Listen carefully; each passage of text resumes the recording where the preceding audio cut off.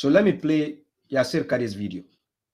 Zoroastrians, from our perspective, they worship fire. Now, I say this, Zoroastrians don't agree with what I said. They don't say, they would say we're not worshiping fire. And from their perspective, they don't consider it worship. From our perspective, when you present offerings and you bow down and you consider fire to be holy and whatnot, we call this ibadah.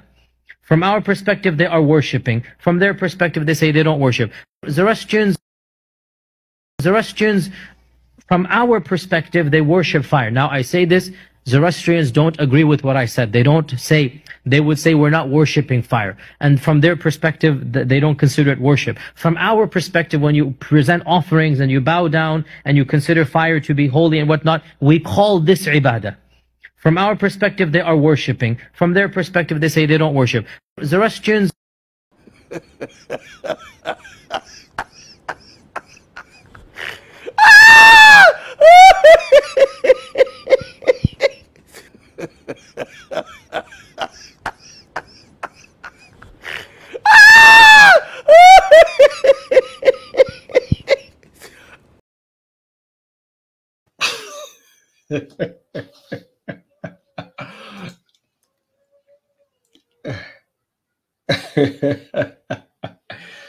um,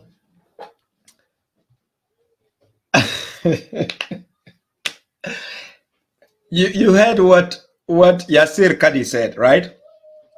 They are judging Zoroastrians, saying that from their perspective, they are not worshiping the fire. They bow down to it, they give offerings to it, and they do whatever, whatever, whatever, right?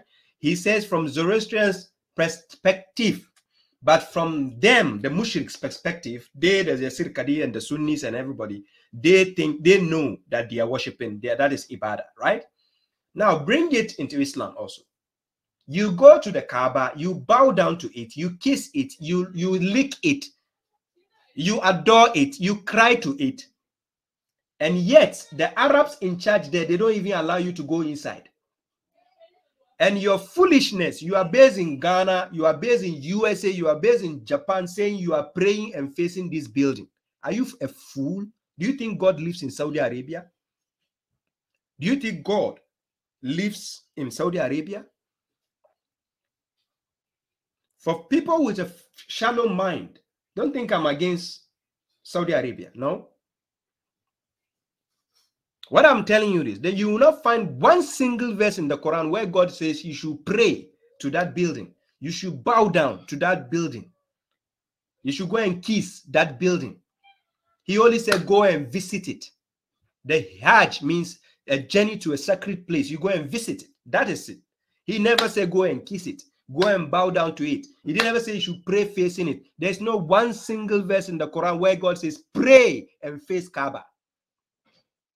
If there's a verse, let, let anybody come and face me one on one. Wallahi, I'll give you thousand euro free of charge if you can prove a verse to me where it says you should pray and face Kaaba, or you should bow down and face Kaaba, or you should come and kiss Kaaba. Wallahi, I'll settle you. You see how foolishness, indoctrination have made people dumb and foolish. Here Yasir Qadhi is telling you that from their perspective, they can they know Zoroastrians are worshipping the fire because they bow down to it, they give offerings to it. You, the mushrik, Yasir Qadhi, you also go to Saudi Arabia, you bow down to this building, you kiss it, you adore it, you cry to it. Is that not what they do? Let me show you some pictures if you think I'm just manipulating people here. For those who are watching, mostly they watch you watch the live Hajj activities. Look at the look at the building. That is the Kaaba. When we say Kaaba, Kaabati, that is the cube you see. It's a cube, it's a house, right? Now, they are facing it, bowing down towards it, and you can never find a single verse in the Quran where God asks you to do this. They are bowing down, facing this building, praying to it. But when you ask them, the foolish mushriks will tell you, no, we don't pray to the Kaaba. we don't bow down to the Kaaba. We don't kiss the Kaaba. We are there for God. Are you are you nuts? If you are there for God, God asked you to do this rubbish. You are there for God. They even painted the name of Muhammad Rasulullah on the building.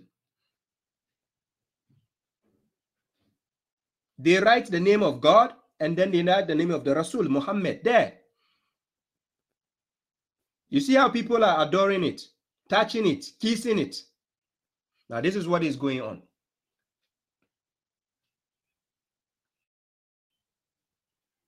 You see, that is what you have in the modern day, what they call Islam.